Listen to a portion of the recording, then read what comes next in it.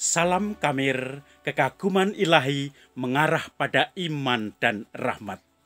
Saudara-saudari yang terkasih, saya sudah capek goes di sini.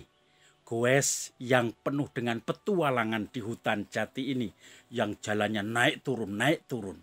Dan saya melihat bahwa ternyata di sini banyak juga eh, lahan-lahan uh, pertanian yang dipakai oleh masyarakat di sela-sela hutan jati itu untuk ditanami jagung, ditanami kacang, ditanami kedelai, tetapi mereka harus jaga siang malam pagi untuk uh, hama dari supaya bebas dari hama yaitu celeng dan monyet.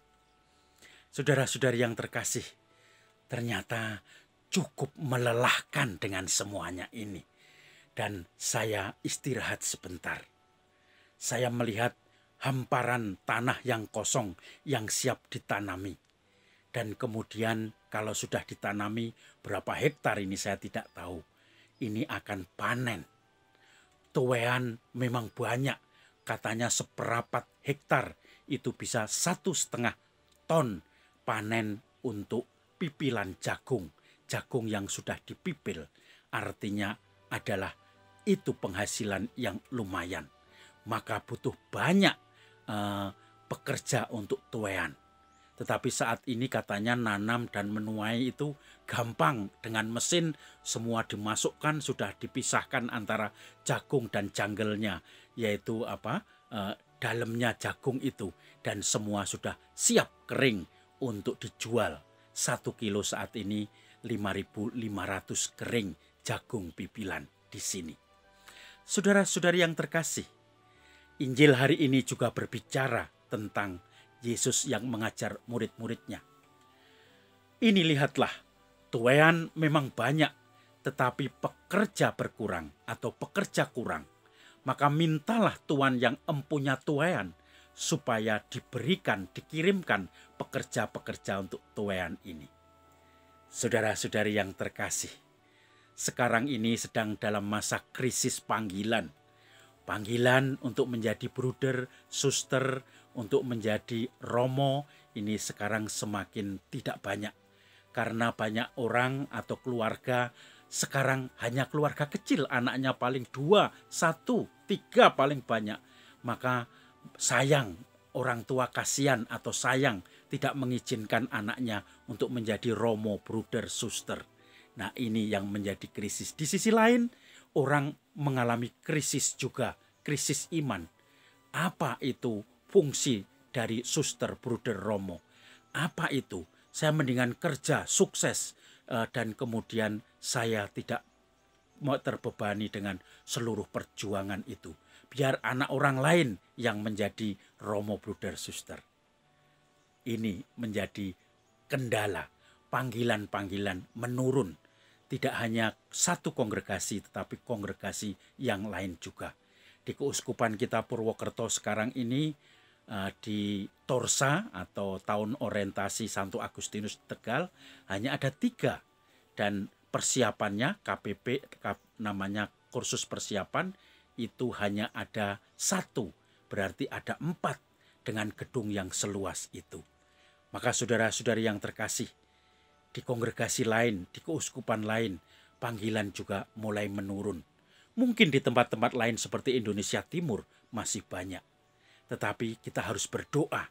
Kadang kita mungkin harus merelakan anak kita untuk menempuh pendidikan sebagai calon imam, calon suster, calon bruder. Sehingga akhirnya bisa memperkuat uh, seluruh karya-karya gereja pewartaan Allah.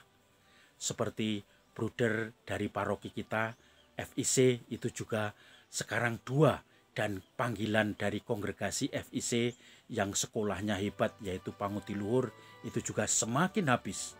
Maka itu kadang-kadang juga bahaya penutupan-penutupan karya yang kemudian imbasnya adalah semakin berkurangnya pintu-pintu atau tangan-tangan atau kaki-kaki karya-karya Roh Kudus di dalam gereja di dunia ini. Ada satu panggilan seorang romo. Dia menjadi romo ini dengan pengalaman yang unik. Jadi ketika bapaknya sakit dirawat di rumah sakit selalu ditengok oleh seorang romo. Romo itu memang tugasnya menengok orang sakit di rumah sakit tersebut. Maka karena sering ditengok, bahkan karena itu rumah sakit Katolik, kalau sore itu menerima komuni sakramen Maha Kudus dari suster, kemudian uh, romonya juga nanti siang jam besuk dia menengok, mendoakan, dan itu rutin. Tidak ada motivasi mencari keuntungan dari romo itu. Dia dengan sukarela menengok. Kemudian bapaknya berkali-kali ditengok, akhirnya saatnya pulang dari rumah sakit sudah sembuh. Anak itu waktu bapaknya sakit masih SMP. Dia terkesan dengan Romo itu. Romo ini kenapa akrab dengan bapak saya?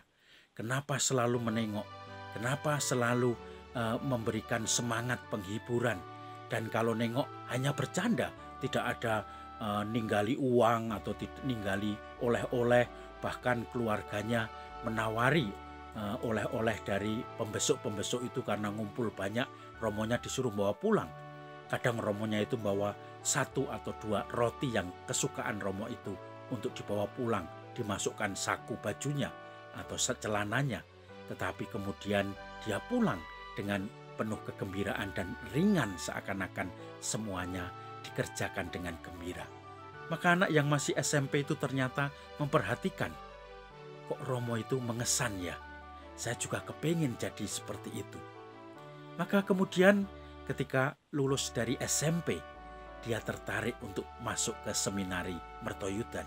Pelan-pelan dia pun mencari informasi dan cerita kepada Romo parokinya. Akhirnya dia disuruh membuat sejarah panggilan. Ditulisnya rapi, bimbingan rohani dengan Romo parokinya. Dan setelah dinyatakan uh, siap untuk lamaran, Romo tadi memberikan rekomendasi Romo parokinya dan akhirnya uh, lamaran itu dikirim ke seminari Mertoyudan. Begitu tes semuanya berjalan dengan baik, maka anak SMP tadi melanjutkan SMA-nya di seminari Mertoyudan. SMA Santo Petrus Canisius Seminari Mertoyudan.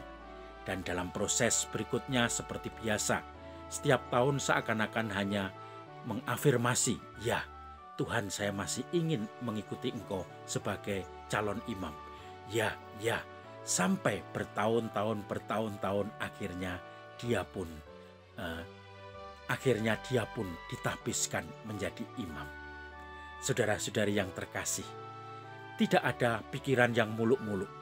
Hanya terkesan karena bapaknya ketika sakit selalu dikunjungi Romo yang ternyata Romo itu adalah teman bapaknya dulu ketika juga di seminari. Kemudian dia tertarik dan kepingin untuk menjadi Romo. Panggilan itu bukan seperti Samuel. Samuel, Samuel, ikutlah aku. Tidak. Atau seperti Musa dengan mengatakan, Musa, bawalah bangsaku keluar dari penjajahan Mesir dengan melihat semak berduri. Tidak. Tetapi natural, alami, dan direfleksikan oleh orang yang bersangkutan. Dan akhirnya dia menjawab ya. Setiap ada retret tahunan itu hanya jawabannya sebetulnya ya. Saya masih setia kepadamu sebagai imammu. Sendiko dawuh dalam. Ini yang kemudian membuat Romo tadi selalu bergembira di dalam menghadapi panggilan, di dalam menggeluti, menghidupi panggilannya sebagai imam. Saudara-saudari yang terkasih, itu panggilan sebagai biarawan-biarawati, sebagai rohaniwan. Belum panggilan sebagai orang awam. Kita semua dibaptis, kita disatukan dalam panggilan imamat umum, yaitu sebagai imam, raja, dan nabi. Pernahkah kita menjadi pendoa yang mendoakan dunia, mendoakan orang lain, mendoakan orang-orang di sekitar kita, mendoakan keprihatinan-keprihatinan kita. Itulah panggilan imam sebagai imam. Panggilan sebagai nabi. Pernahkah kita menyuarakan kenabian, memberikan teladan-teladan yang kadang-kadang mungkin tidak diterima oleh masyarakat umum, tetapi itu menjadi koreksi bagi kehidupan masyarakat yang sungguh-sungguh dibutuhkan untuk pembaharuan dunia atau lingkungan kita. Itu panggilan sebagai nabi dan panggilan sebagai raja. Pernahkah kita menjadi seorang pemimpin?